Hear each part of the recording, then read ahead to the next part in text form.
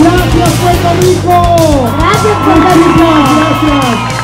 Gracias infinitas por la oportunidad de estar aquí con ustedes, de compartir el escenario con Carla, con Arturo. Son un público muy lindo, muy Pero un amor. Y bueno, síganse divirtiendo, vamos a estar un rato todavía por allá, si alguien quiere pasar con una